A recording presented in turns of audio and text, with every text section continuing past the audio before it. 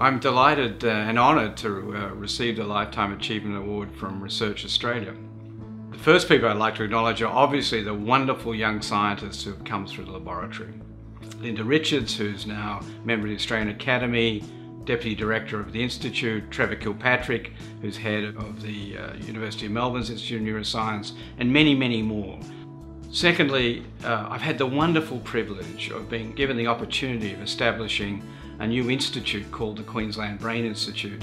We came with a, a terrific band of about eight to 10 people and it's now grown to 500 people.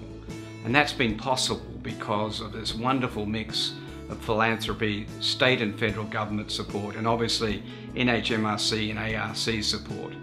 I'm especially indebted to uh, the triumvirate of Chuck Feeney, the philanthropist, uh, John Hay, the uh, University Vice Chancellor, and Peter Beattie, who continues to be a great supporter in Australia of biotechnology and research.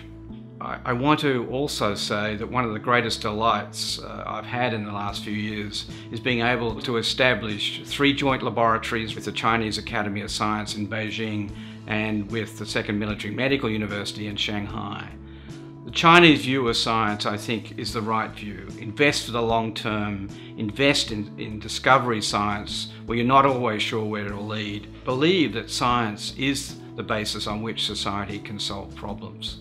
Over the next two to three years, we're taking several of the discoveries we've made into uh, addressing motor neuron disease with my close colleague Andrew Boyd and into dementia, where we're hoping that we can drive these productions of new neurons in the brain to not only slow this down, but reverse, in many cases, that cognitive decline. So once again, thank you very much, and I'm delighted to receive this award.